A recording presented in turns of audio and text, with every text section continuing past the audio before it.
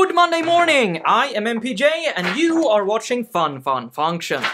So today we're going to do a Q&A episode. Uh, we're going. I asked people to uh, send me questions on on Twitter. Uh, my Twitter account is is somewhere here. MPJ me. So people sent me some questions and uh, I'm going to answer them. Uh, All right, here's one by Juan Martinez. Uh, what do you think about the all in JS trend, CSS and HTML in JavaScript? Okay, uh, we are we are not going to make a Q&A episode anymore. This is, I feel this, this is going to be a separations of concerns rant. For the people that might not be familiar with this, uh, there was um, a few years ago Facebook um, released React, and uh, what they started doing with React that was very controversial at the time and put a lot of people off from React was that they mixed HTML and JavaScript in the same file. And saying that it's okay to mix HTML and, and, and uh, JavaScript in the same file, that was at that time sort of like saying that the earth was round. Uh, back in the time when people believed it was flat, people was, what the hell is this? You're crazy. And I shall say that I was one of those people. I was very skeptical about React when I first saw it. I, I, really, really, really hated it because it offended my religion of separating uh, HTML, CSS, and JavaScript into these buckets. That was how you did things. But after listening to their, their uh, motivations for a while, I started to come around. Let's think a bit about the reason why we uh, started as an industry to started to separate HTML and, and CSS and, and JavaScript into, into separate files from the first place. In programming, there is this concept uh, that is called divide and conquer. Uh, it's also often referred to also as uh, separation of concerns. And it comes from the fact that as a human, uh, because programmers are human, uh, there is a limited amount of cognitive space in your brain. Like some people can only think about one thing at a time, and maybe some people can think about two, and maybe some people can even hold three or four or five things at, in their head at a time.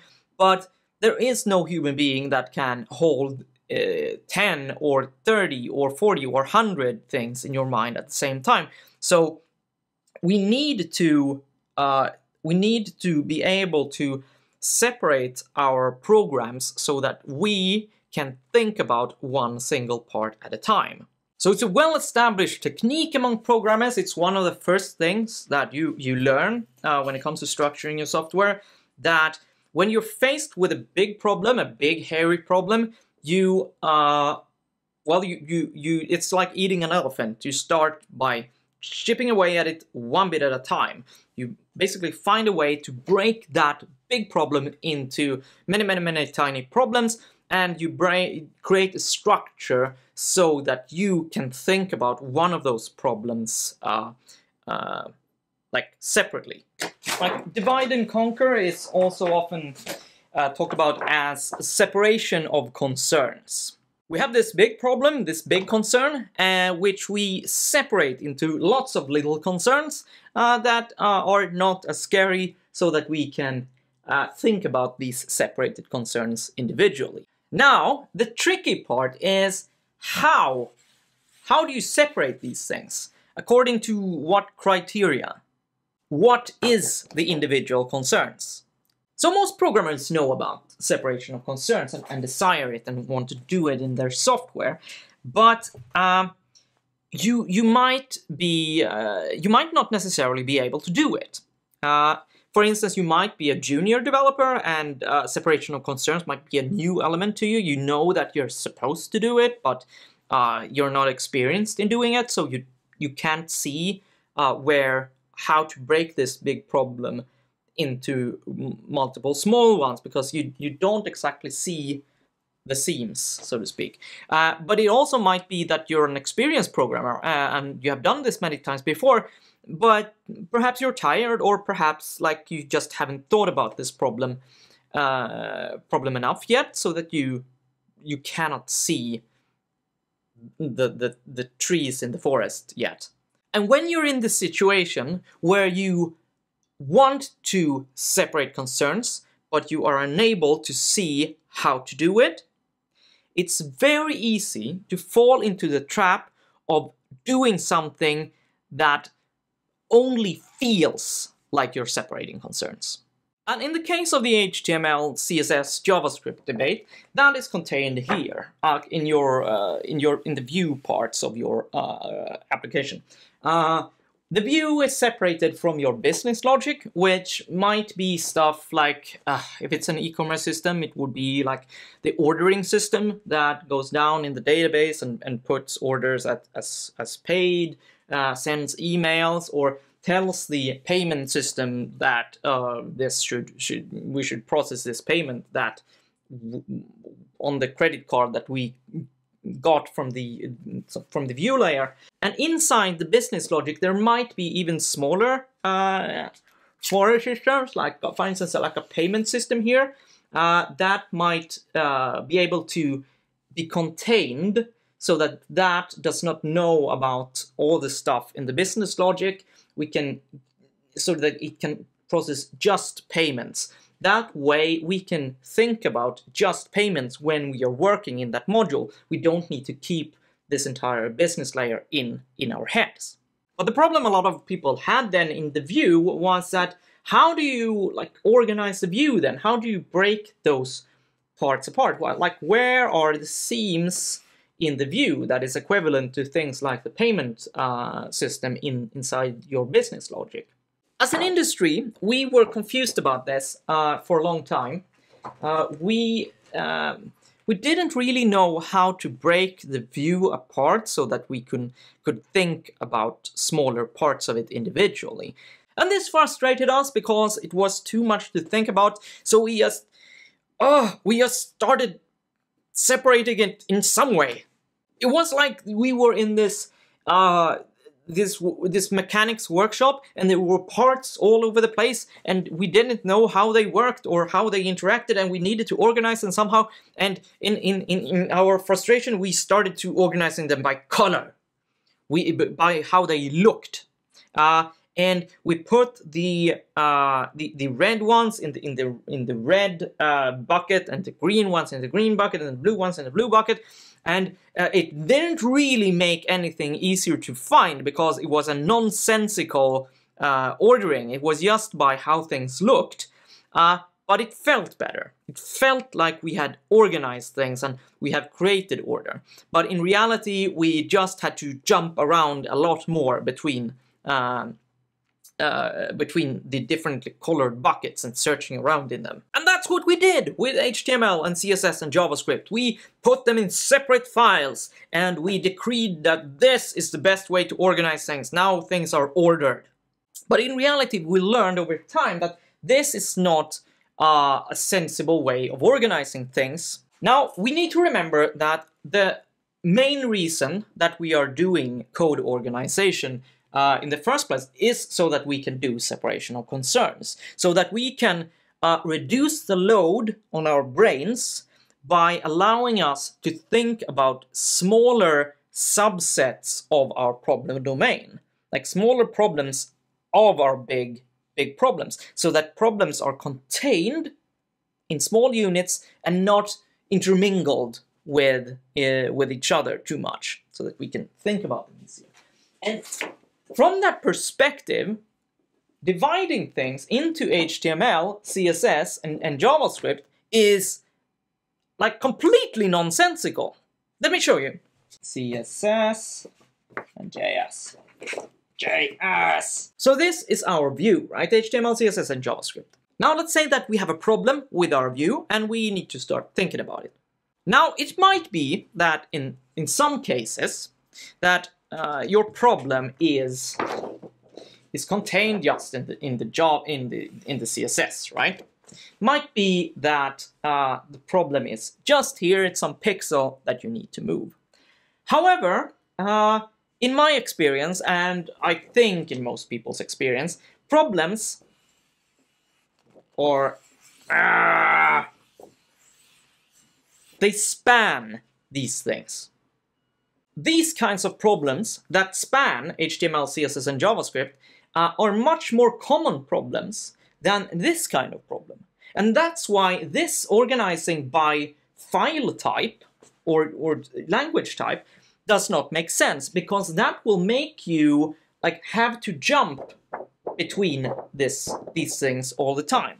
So let me draw another one like another concern might be like this or another concern might be like this. Now if you agree with me that these these are our concerns and this spanning concern is more common than the concern that uh, just concerns one type of technology, then you need, if you agree with that, you also need to agree with me on the fact that this organization, this kind of separation, this is not separation by concern. This is just separation of, of you know, like color or something. It's just completely arbitrary. It will not help you to think about these concerns individually. It will actually hinder you because you will have to uh, jump between these contexts all the time. If someone says to you that separating HTML, CSS, and JavaScript, that that, that is separation of concerns, then they are bullshitting you. They don't know what separation of concerns means. I think that the HTML, CSS, and, and JavaScript uh, separation religion that I was once a part of, remember, uh, is another um, brand of another uh, thing that is pretty widespread and that I think is very, very harmful advice. Well, very harmful, but it's it's very dumb and unproductive. Uh, and that is, hang on, long functions are bad. This is very, very, very, very bad advice. Now, don't get me wrong. A lot of really bad code is written in these long as one execution uh, uh, functions that are impossible to detangle or understand anything about. But people confuse that that the that the fact that it's long that that has anything to do with it. And I hear people giving advice like you should not have a function that is longer than one page or some arbitrary line number. That is absolutely not important. That is just color. That is just how things look. That is just uh, that is just organization uh, that feels like organization but isn't really separation of concerns. Now, before you get out your pitchforks, I'm not against function extraction. Function extraction is fantastic. It's a very, very useful tool, but what I want you to realize here that there are two kinds of function extraction. The bad one and the good one. Let's say that we have, like this is a big problem, this is a big concern, this is your big ass file that is dealing with some, you know, data pipeline or whatever. This file is getting unwieldy and we need some way of breaking it into chunks so that it will make it easier for us to think about it. Now, good function extraction, it's noticing that we have uh, a problem that is it's it's it's spread out here and here and here and here. Uh, and we realize that we can move this code into one block instead of having it spread out over the file so that we can think about this block uh, separately. We might also notice that, uh, that that is one thing, that that is not really extraction, but it's still separation of concerns, right? Even though we haven't moved anything uh, out, of, uh, out of the file into a function, we have just moved the code around so that it's it's in the right place. Uh, we might also notice that there is a, uh, a, a function over here uh, that is duplicated over here, and we also notice that it's a general concept, like uh, it might be some kind of string operation that is not really related to this problem domain. Like it might something be like reversing a string or uh, uppercasing a string uh, or capitalizing the first letter, for instance. And we, uh, we realized that, yeah, this can be moved to a completely different file. Uh, and we do. So we create a function and uh, over here in some separate file and we call it from the file. Because this is a small contained problem that is general, we can now move that out of the file uh, and it's also very descriptive. For instance, like capitalize, uh, seeing that call in the in the in the code, you you get what that is by just looking at the call. You you don't have to go into the file and, and figure stuff out in order to use capitalize in your uh, in your big file. So so that is good function extraction. We have actually separated a concern out so that we have one less thing to think about. But let's talk about a bad way to do function extraction. So we have a lot of code, we have some code here, we have some code here, we have some code here. And uh, very easy thing to do is to start doing like, oh, this is so much code, let's just break it into chapters. Let's take this part here and give that a function name and put it in a function. And then we just have one line of code there and we take that and we uh, call that a function and we take this and call that a function so that we just have like uh, part uh, one calling that, part two, uh, da, da, part three, uh, da, da, da, calling that, but with real names for kind of what they do. First of all, that is pretty wasteful. You could do this with just like having a comment on top of each block. You don't have to like add a function to do this. You're just adding uh, more surface API area uh, for no good reason. Uh, but even if we discount that, you're also making your code uh, harder to reason about for the same reason that we did, like it's hard to reason about in the HTML, CSS, and, and JavaScript case, because your problem domain you have not separated by concern. You have separated by just some visual artifact.